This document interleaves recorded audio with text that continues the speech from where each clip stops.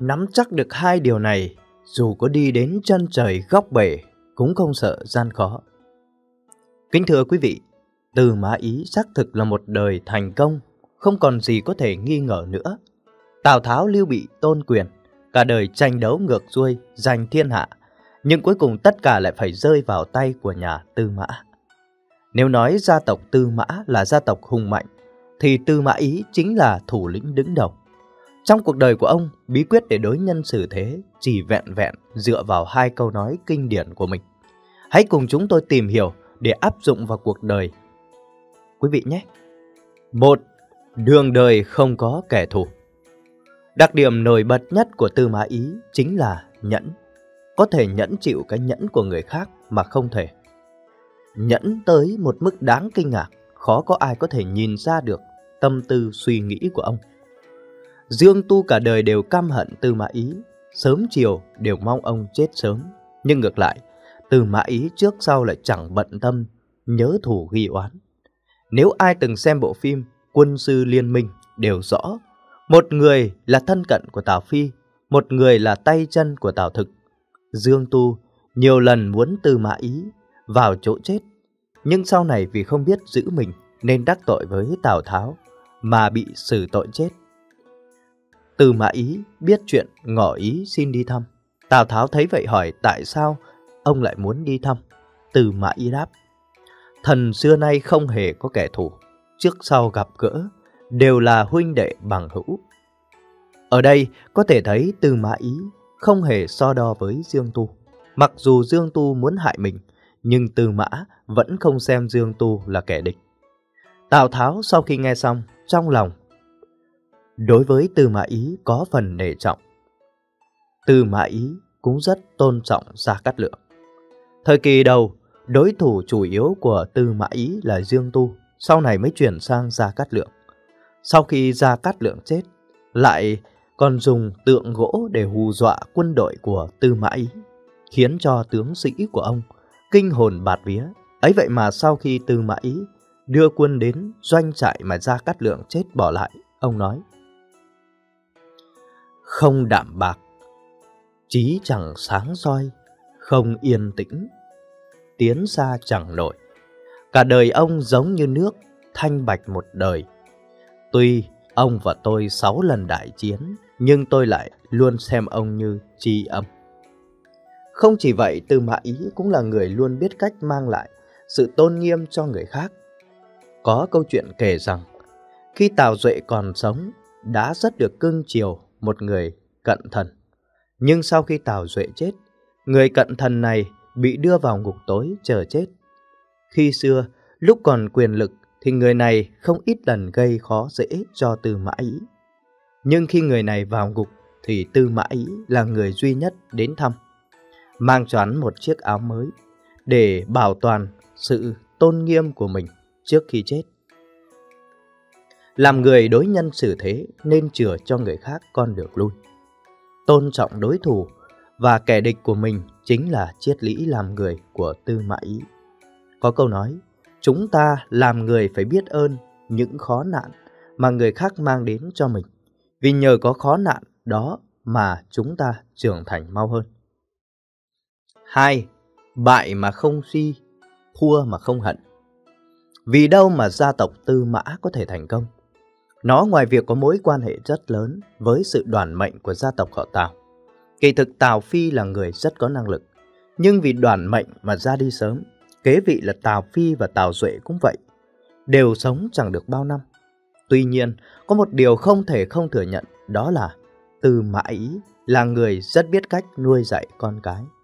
Con của Tư Mã Ý cũng là một đấng nam nhi tài trí hơn người, văn võ song toàn.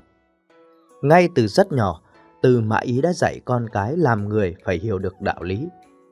Không trốn tránh thất bại, phải từ thất bại mà đứng lên, chiến thắng. Trong quá trình đấu quyền, đấu trí với Gia Cát Lượng, có một lần bị Gia Cát Lượng đánh lừa cho quân đi cướp lương thực. Mặc dù lúc đó, lực lượng quân ngụy đông gấp mấy lần quân thục, nhưng Tư Mã Ý lại không cho quân lính đi cướp lại. Chúng tướng bất bình, hai con của Tư Mã Ý cũng đứng ngồi không yên, không hiểu tại sao lại làm như vậy, nên đi tìm cha hỏi chuyện. Khi đến đại doanh của Từ Mã Ý, thấy cha đang nói chuyện với một người. Từ Mã Ý nói, đánh trận, trước tiên phải học được thiện bại. Bại mà không si, thua mà không hận, thì mới có thể cười được sau cùng. Kỳ thực, điều này cũng chính là điều mà ngày nay chúng ta vẫn thường hay nói đến, là vượt lên nghịch cảnh. Trong cuộc đời, một người phải đối diện với rất nhiều thất bại, đó là điều không tránh khỏi. Đối diện với nghịch cảnh, đó là một loại trạng thái tâm lý mạnh mẽ, là một loại cảnh giới của sự nhẫn nại. Đời người, muôn ngàn sóng gió, thất bại nhất thời cũng chẳng có gì phải nặng lòng. Cả đời tư mã ý, không biết bao nhiêu trận, và cũng bại không biết bao nhiêu lần. Tuy nhiên, ông chiến thắng cuối cùng. Đời người chính là như vậy, trên nẻo đường đời, trong một lúc nào đó chúng ta phải thất bại.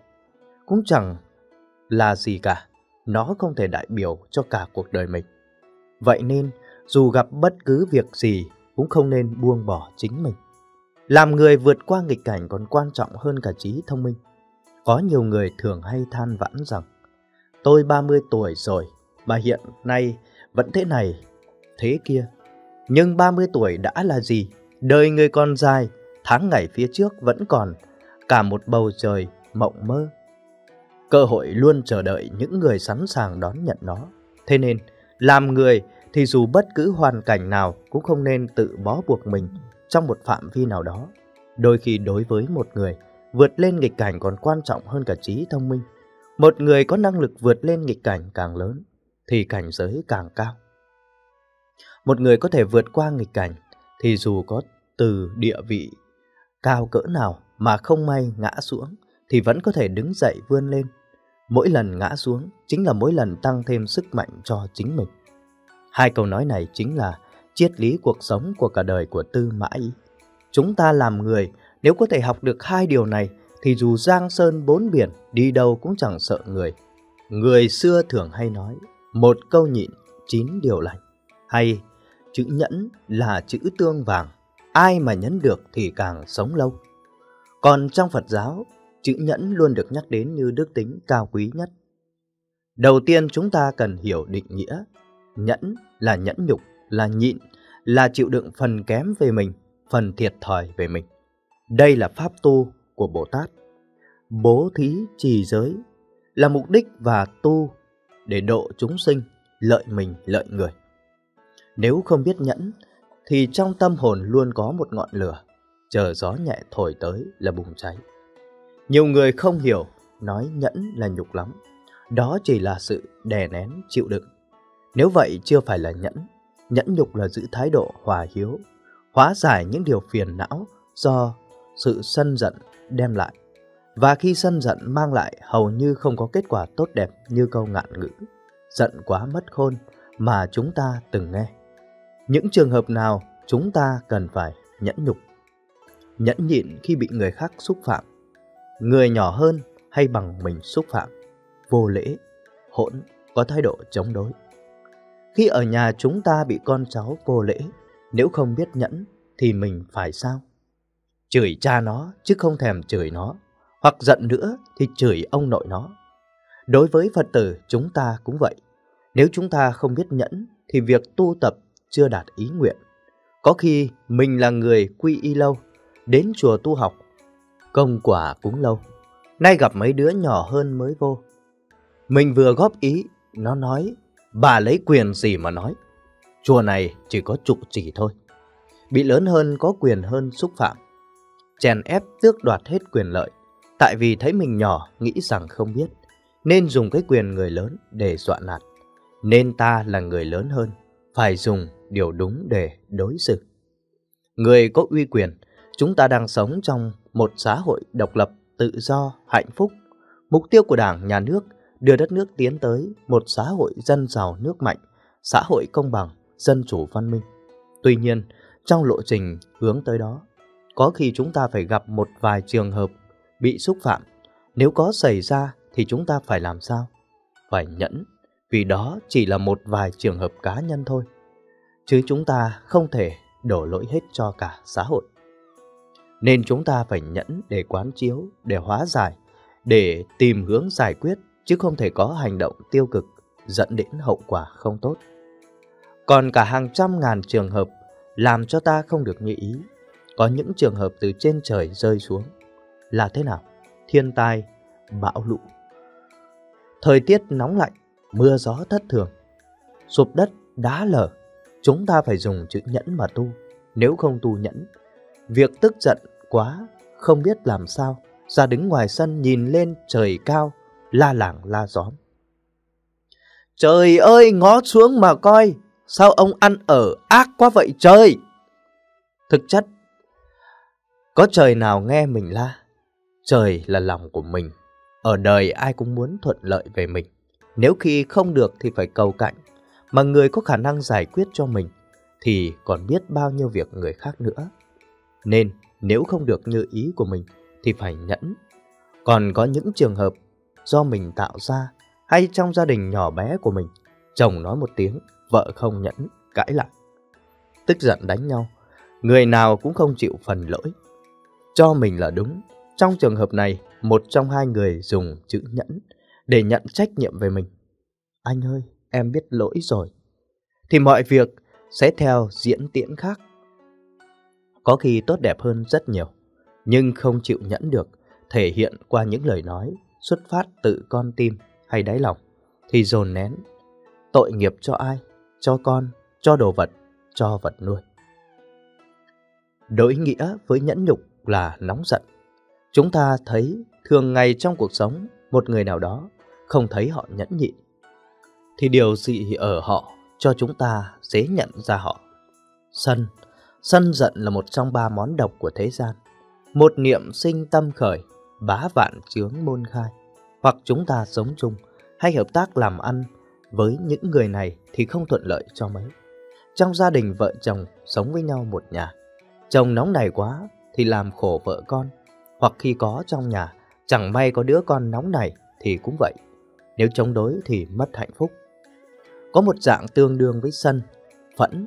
Bên ngoài không thấy biểu hiện gì, nhưng trong lòng họ đang dồn nén để tìm cách trả thù. Đạo Phật không chấp nhận cách nhẫn nhục này, mà nó là nóng giận đang biến tướng. Dạng tâm lý này rất tai hại. Nhẫn nhục cho chúng ta điều gì?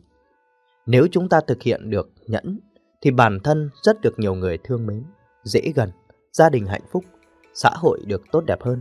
Xã hội Việt Nam chúng ta thường hay nói về mối quan hệ, tình cảm giữa mẹ chồng và nàng dâu. Và sự việc trên đều không tốt đẹp bao giờ, cũng đổ lỗi cho những bà mẹ chồng.